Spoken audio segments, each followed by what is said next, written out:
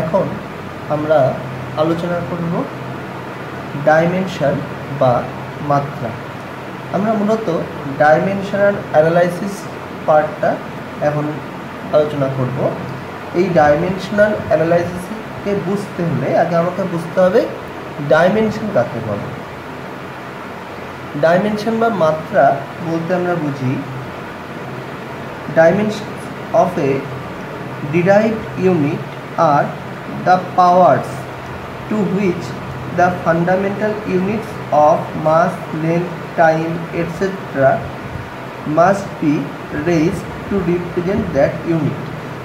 তার মানে কি বলতে চেয়েছে আমরা বলতে পারি আমাদের কোনো একটা ডিরাইভড ইউনিট ফান্ডামেন্টাল ইউনিটের ওপরে যেভাবে নির্ভর করে বা ফান্ডামেন্টাল ইউনিটের যেরকম পাওয়ারের উপর ডিপেন্ড করে, সেই এক্সপ্রেশন বা রাশিমালাকে আমরা বলছি ডাইমেনশন তার মানে আমরা যদি ডাইমেনশন বুঝতে হয়, তাহলে আমাকে আগে বুঝতে হবে ফান্ডামেন্টাল যে ইউনিটগুলো রয়েছে, তাদের ডাইমেনশন কি?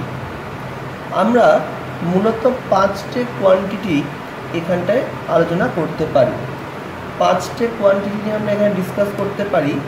যে পাঁচটে কোয়ান্টিটির ওপরে অন্য যে কোনো ডিরাইভড ইউনিট বা ডিরাইভড কোয়ান্টিটি কীভাবে নির্ভর করে, এই ব্যাপারটা যে ইকুয়েশন বা এক্সপ্রেশনের মাধ্যমে আমি রিপ্রেজেন্ট করতে পারি, আমরা তাকেই বলছি ডাইমেনশন তাহলে যে পাঁচটা মেন যে ফান্ডামেন্টাল ইউনিটস রয়েছে যেমন mass length time current temperature এই কোয়ান্টিটিগুলোকে যে পাঁচটা ইউনিট দিয়ে আমরা রিপ্রেজেন্ট করি, তারা হচ্ছে মাসের জন্য গ্রাম বা কেজি লেন্থের জন্য সেন্টিমিটার বা মিটার টাইমের জন্য সেকেন্ড কারেন্টের জন্য অ্যাম্পেয়ার বা ইএমইউ এবং টেম্পারেচার জন্য degree Celsius or degree Fahrenheit or kelvin এখন বিষয়টা হলো, এই যে পাঁচটা ফান্ডামেন্টাল কোয়ান্টিটি এই ফান্ডামেন্টাল কোয়ান্টিটিগুলোকে রিপ্রেজেন্ট করা হয় যে ডাইমেনশানগুলো দিয়ে, সেগুলো হচ্ছে এম এল টি আইঅরে এবং থিটা কেমন ব্যাপারটা? যদি আমি মাস বলি মাসকে রিপ্রেজেন্ট করা হয় ক্যাপিটাল এম দিয়ে। যদি আমি লেন্থ বলি লেন্থের জন্য ক্যাপিটাল এল টাইমের জন্য ক্যাপিটাল টি কারেন্টের জন্য ক্যাপিটাল আই কখনো কখনো ক্যাপিটাল এ টেম্পারেচারের জন্য কখনো কখনো capital theta or small theta যদিও আমরা টেম্পারেচারকে স্মল থিটা এবং কারেন্টকে ক্যাপিটাল আই দিয়েই আমরা এখানটায় রিপ্রেজেন্ট করব। এবার আমি আসি যে এই ডাইমেনশানগুলো লিখতে হয় কী করে। জেনারেলি ডাইমেনশনসগুলো থার্ড ব্র্যাকেটে লিখতে হয়। ফর এক্সাম্পল আমি যদি বলি ডাইমেনশন অফ মাস আমরা যদি বলি ডাইমেনশন অফ মাস তাহলে এটাকে আমরা লিখতে পারি থার্ড ব্র্যাকেটে মাস এই থার্ড ব্র্যাকেটটাই বোঝাচ্ছে যে আমি এখানে ডাইমেনশনের কথা চেয়েছি বা ডাইমেনশন জানতে চেয়েছি। এবং এটাকে আমরা লিখছি ক্যাপিটাল এম আবার ধরে নাও ডাইমেনশন অফ টাইম তাহলে এখানে লিখব টাইম থার্ড ব্র্যাকেটের মধ্যে, এবং যেটা হবে ক্যাপিটাল টি তাহলে আমরা দেখে নিলাম ডাইমেনশান কি এবং ডাইমেনশান কীভাবে লিখতে হয়। এখন আমরা ফান্ডামেন্টাল যে কোয়ান্টিটিগুলো আছে তাদের তো ডাইমেনশান পেয়ে গেলাম। এখন আমরা দেখব কিছু ডিরাইভ যে কোয়ান্টিটিগুলো আছে, তাদের ডাইমেনশানগুলো কেমন হবে। এখন যে আমরা ডিসকাশনটা করছি, সেটা মূলত ইনফরমেটিভ তোমরা একটু ভালো করে দেখে নাও, তোমাদের আশা করি বুঝতে সুবিধা হবে। এখন আমি একটা চার্টের মতো এখানে করে দিচ্ছি, যে চার্টটা ফলো করলে তোমাদের আশা করি সুবিধা হবে। যেমন আমি একটু বলি, আমি এখানে ছোট্ট চার্টের মধ্যে সব কিছু কোয়ান্টিটি এবং তাদের ডাইমেনশন কী হবে বলে দিয়েছি। চার্টটা এইভাবে করেছি। প্রথমে, প্রথম অংশে আছে হচ্ছে ফার্স্ট রোতে আছে হচ্ছে কোয়ান্টিটির নাম, তারপরে তো তার বেসিক ডেসক্রিপশন তারপরে তো তার ডাইমেনশনটা কী হবে এবং তারপরে রেজাল্ট আসলে ডাইমেনশন এবং রেজাল্ট রেজাল্টটা তো অবশ্যই ডাইমেনশন হবে। এখানে ডাইমেনশন বলতে আমরা হচ্ছে অ্যাকর্ডিং টু ডেসক্রিপশন তাদের ডাইমেনশনটা কেমন হচ্ছে এবং তাকে একটা প্রপার ফর্মে এনে তার রেজাল্টটা আমি এখানটা লিখেছি। যেমন আমি বলছি লেন্থ লেন্থ এটা হচ্ছে একটা পয়েন্ট থেকে অন্য পয়েন্টের যে বেসিক ডিস্টেন্সটা সেটাকে হচ্ছে মেজার করে। তার লেন্থের ডাইমেনশান তো আমরা দেখেছি লেন্থ একটা হচ্ছে ফান্ডামেন্টাল কোয়ান্টিটি তাহলে ডাইমেনশান এল হবে, এবং রেজাল্টও এলই লিখেছি। ডিস একটা পয়েন্ট থেকে অন্য পয়েন্টে যদি যে একটা পাথ বরাবর যাওয়া যায়, এই পাথের ক্ষেত্রে যদি সার্টেন কোনো ডিরেকশন না থাকে, তখন সেই পাথটাকে আমরা বলছি দুটো পয়েন্টের ডিস্টেন্স তাহলে আমি যদি এই পাথটা বলি, এটা হচ্ছে ওয়ান কাইন্ড অফ লেন্থ হচ্ছে। তাহলে ডিস্টেন্সে একটা হচ্ছে লেন্থ তাহলে এটাও ডাইমেনশন এল হবে। ডিসপ্লেসমেন্ট হচ্ছে দুটো পয়েন্টের মধ্যে স্ট্রেট লাইন যদি ড্র করা যায়, তাহলে তাদের মধ্যে মিনিমাম ডিস্টেন্সটা পাওয়া যায়। এটাকে আমরা বলছি তাদের ডিসপ্লেসমেন্ট বা একটা সার্টেন ডিরেকশানে যদি একটা পয়েন্ট থেকে অন্য পয়েন্টে যায় সেই সার্টেন ডিরেকশন বরাবর যে পাথটা ট্রাভেল করা হলো তাকে আমরা বলছি তার ডিসপ্লেসমেন্ট তাহলে এটা ওয়ান কাইন্ড অফ লেন্থ তাহলে এল মাস একটা ফান্ডামেন্টাল কোয়ান্টিটি তাহলে এম টাইম হচ্ছে একটা ফান্ডামেন্টাল কোয়ান্টিটি তাকে আমরা টি ধরে নিয়েছি। এখন আমরা বললাম এরিয়া এরিয়া মানে আমরা কী জানি? এরিয়া মানে আমি জানি লেন্থ ইন্টু ব্রেড বা যদি আমি সার্কেল নিই তাহলে পাই আর স্কোয়ার তো যাই হোক না কেন, দেখো এখানটায় কী হচ্ছে? লেন্থ ইন্টু ব্রেড বা রেডিয়াসের স্কোয়ার তার মানে একটা লেন্থকে অন্য লেন্থে মাল্টিপ্লাই করছি। সেই কারণে দেখো এই জায়গাটাতে আমি কি করেছি? এল ইন্টু এল এটা হচ্ছে তার অ্যাকর্ডিং টু ডেসক্রিপশন তার ডাইমেনশন যাকে আমরা সিম্পলিফাই করতে পারি এল স্কোয়ারে ভলিউম মানে হচ্ছে area into height that means এরিয়ার ডাইমেনশন হচ্ছে এল স্কোয়ার আর হাইট মানে হচ্ছে একটা লেন্থ এটা হচ্ছে এল তাহলে কী হলো? এল কিউব ঠিক তেমনভাবেই ডেন্সিটি ডেন্সিটি কাকে বলে? ইউনিট ভলিউমের মাসকে আমরা বলি ডেন্সিটি তার মানে মাসকে যদি ভলিউম দিয়ে ডিভাইড করি, তাহলে আমরা পাবো ডেন্সিটি তাহলে মাসের ডাইমেনশন এম ভলিউমের হচ্ছে এল কিউ তাহলে কী দাঁড়াল M L to the power minus three speed distance travelled by time তার মানে ইউনিট টাইমে আমার যে অ্যামাউন্টের ডিস্টেন্স আমি ট্রাভেল করছি, তাকে আমরা বলি তার, আমাদের স্পিড বা তাকে আমরা বলছি স্পিড স্পিড মানে দাঁড়াচ্ছে তাহলে distance by time that is L by T or L T inverse velocity velocity মানে হচ্ছে displacement by time displacement is one kind of distance যেটা L by T or L T inverse এখন আমরা নতুন একটা টার্ম দেখব, যেটা হচ্ছে লিনিয়ার মোমেন্টাম লিনিয়ার মোমেন্টাম বলতে বোঝা যায় মাস ইন্টু ভেলোসিটি এখন এই লিনিয়ার মোমেন্টামটা বেসিক্যালি কী জিনিস? সেটা ফিজিক্যালি আমরা জানব।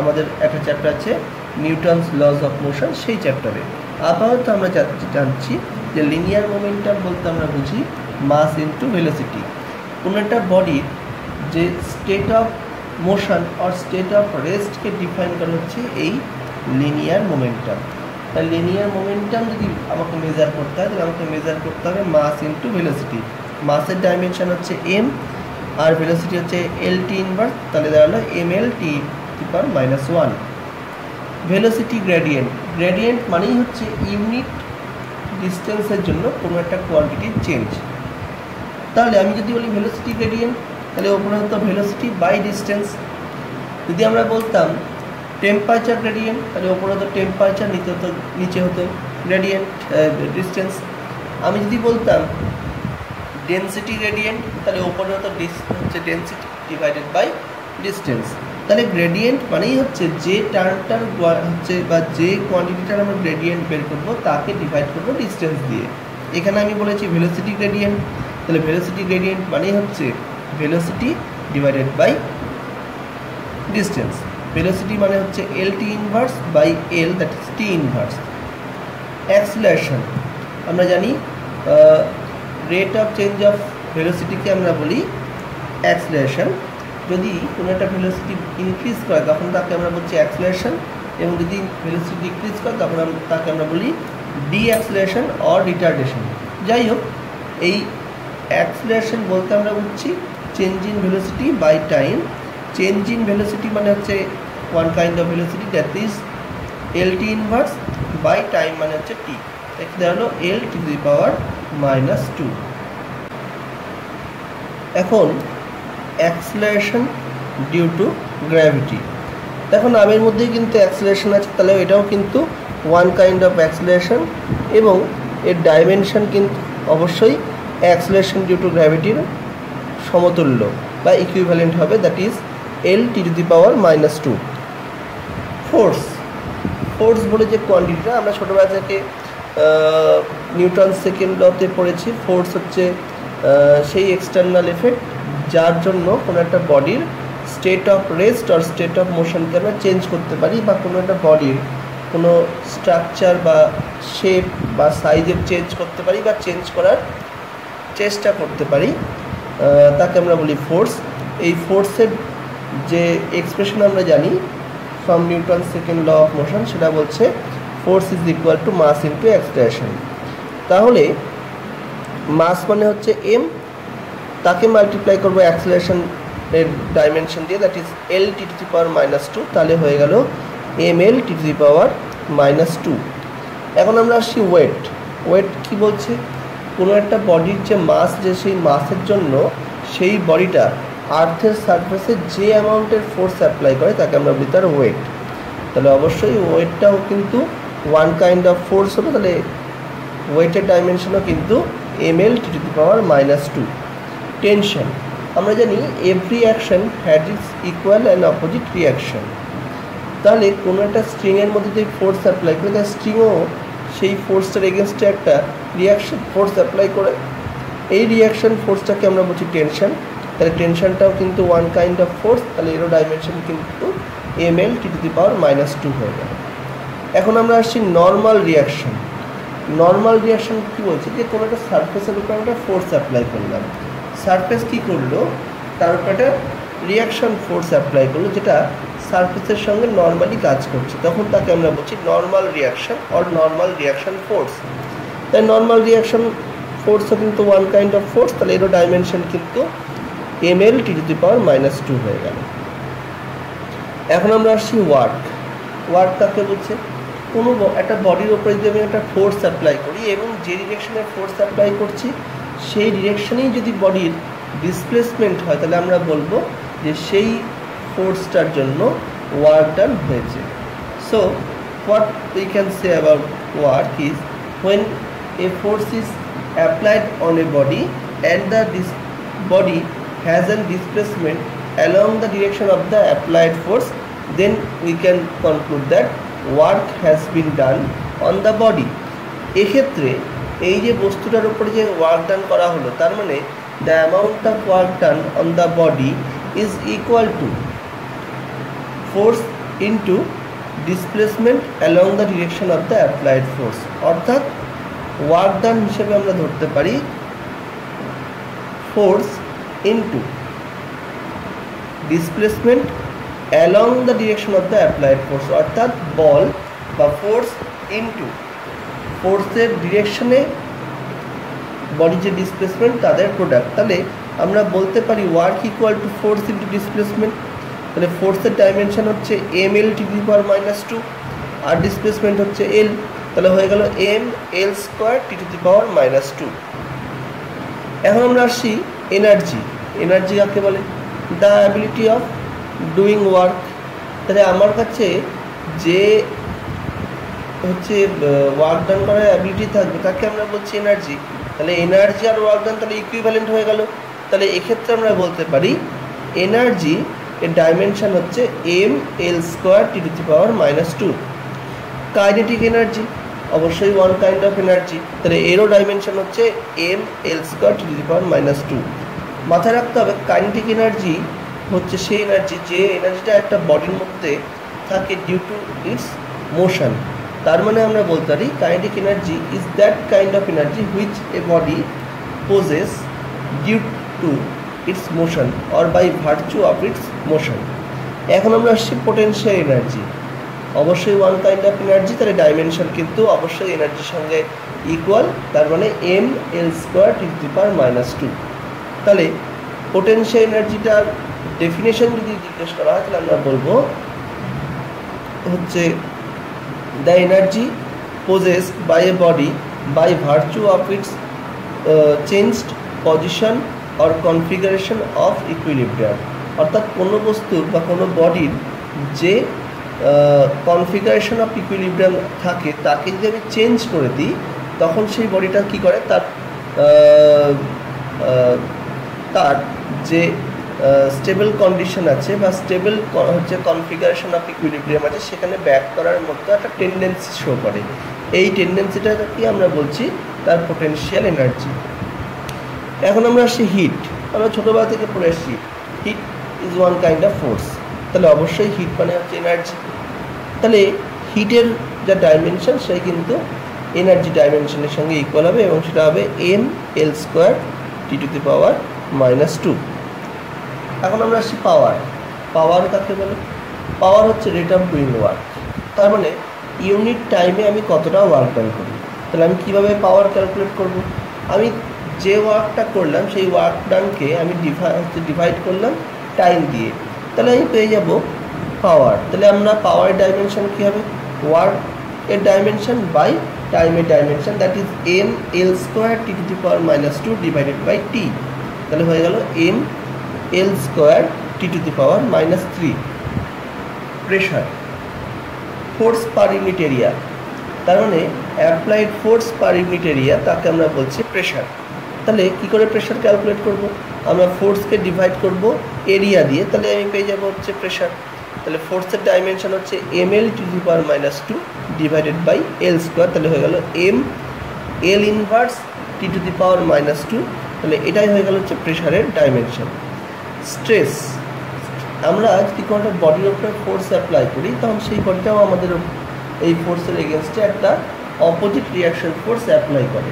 তাহলে আমরা দেখেছি যে অ্যাপ্লাইড ফোর্সকে যদি আমরা এরিয়া দিয়ে ডিভাইড করি, তাহলে পাবো প্রেশার ঠিক তেমনভাবেই এই অ্যাপ্লাইড ফোর্সের জন্য যে রিয়াকশন ফোর্সটা তৈরি হয়, সেই রিয়াকশন ফোর্সকে যদি আমরা ডিভাইড করে দিই, তার এরিয়া দিয়ে, তখন আমরা পেয়ে যাব normal reaction force per unit area যাকে আমরা বলি স্ট্রেস এবং এই স্ট্রেসের ডাইমেনশান হচ্ছে M L inverse T to the power minus two এখন আমরা আসি স্ট্রেন স্ট্রেন কাকে বলছে? বলছে যখন কোনো একটা বডির উপর আমরা স্ট্রেস অ্যাপ্লাই করি, তখন সেই বডিটার কনফিগারেশনগুলো চেঞ্জ হতে পারে। কেমন কনফিগারেশনের কোনো একটা বডির উপর ফোর্স অ্যাপ্লাই করে তার লেন্থের চেঞ্জ হতে পারে। একটা বডির উপর ফোর্স অ্যাপ্লাই করলে তার ভলিউমের চেঞ্জ হতে পারে। আবার কোনো একটা বডির উপর ফোর্স অ্যাপ্লাই করলে তার শেপেরও চেঞ্জ হতে পারে। তাহলে এই যে কতটা চেঞ্জ হলো দ্যাট মিন্স অ্যামাউন্ট অফ চেঞ্জটা কীভাবে আমি হচ্ছে নিউমেরিক্যালি হচ্ছে ডিফাইন করব? তাহলে কোনো একটা বডির উপরে যে ফোর্স অ্যাপ্লাই করা হলো, সেই ফোর্স অ্যাপ্লাইড পরে তার যে চেঞ্জ হলো এই যে change in configuration that mean change in length or change in volume or change in shape বা সাইজ তাকে যদি আমরা ডিভাইড করি তার ইনিশিয়াল ভ্যালু দিয়ে that means initial length or initial volume or initial shape দিয়ে, তখন যে আমরা হচ্ছে যে কোয়ান্টিটা পাবো, তাকে আমরা বলছি স্ট্রেন আমরা স্পষ্টই বুঝতে পারছি যে চেঞ্জ ইন এনি ভ্যালু তার যা ডাইমেনশান হবে, ধরে নাও আমি বলছি চেঞ্জ লেন্থ যদি এল হয়, তাহলে ইনিশিয়াল যে হচ্ছে লেন্থ তাকে তারও ডাইমেনশান অবশ্যই এল হবে। কারণ চেঞ্জ ইন লেন্থের লেন্থের ডাইমেনশন যা এল ইনিশিয়াল লেন্থেরও ডাইমেনশান সেম এল আবার ধরে নাও চেঞ্জ ভলিউমের যা হচ্ছে dimension that is L cube R initial ভলিউমেরও ডাইমেনশান এল কিউব তাই যখন আমরা বলছি স্ট্রেন তার মানে change in configuration by original configuration তাদের কিন্তু সেম ডাইমেনশনে আছে। The ratio of same dimension মানে তার ডাইমেনশন নেই। ডাইমেনশন না থাকাটাকে আমি আইদার ডিফাইন করতে পারব M to the power zero L to the power zero or T to the power zero or one অনেক সময় ডাইমেনশন না থাকাটাকে আমরা ওয়ান দিয়েও ডিনোট করতে পারি। তাহলে আমরা এই ভিডিওতে আজকে আলোচনা করলাম যে কীভাবে কিছু কোয়ান্টিটিকে আমরা ডিফাইন করছি বা কোয়ান্টিটিগুলো যে fundamental quantity M L T theta or I তাদের উপরে কীভাবে ডিপেন্ড করছে সেটা আমরা এখানটা ডিসকাস করলাম। আমরা পরবর্তী ভিডিওতে আরও এই ধরনের কিছু কোয়ান্টিটিকে ডিফাইন করব বা তাদেরকে এক্সপ্রেস করব in terms of fundamental quantity আমরা ডাইমেনশনের মাধ্যমে যেটা করতে পারি যে এই যে তোমার হচ্ছে বিভিন্ন ধরনের যে কোয়ান্টিটিগুলো রয়েছে, বিভিন্ন ফিজিক্যাল কোয়ান্টিটিগুলো সেই ফিজিক্যাল কোয়ান্টিটিগুলো তারা বেসিক বা ফান্ডামেন্টাল কিছু কোয়ান্টিটির উপরে কীভাবে ডিপেন্ড করছে, তাদের নেচারটা কেমন? তারা সেম টাইপ অফ কোয়ান্টিটি না তাদের অন্য কোনো হচ্ছে প্রপার্টি আছে, সেটা কিন্তু আমরা এই চ্যাপ্টারের সাহায্যে ইজিলি বলতে পারি বা বুঝতে পারি। আমরা পরবর্তী ভিডিওতে এই ধরনের আরও কিছু কোয়ান্টিটি নিয়ে আসব। তোমরা এইটুকু ভালো করে দেখো, মুখস্থ করো। সবাই বাইরে থেকো, সুস্থ থেকো।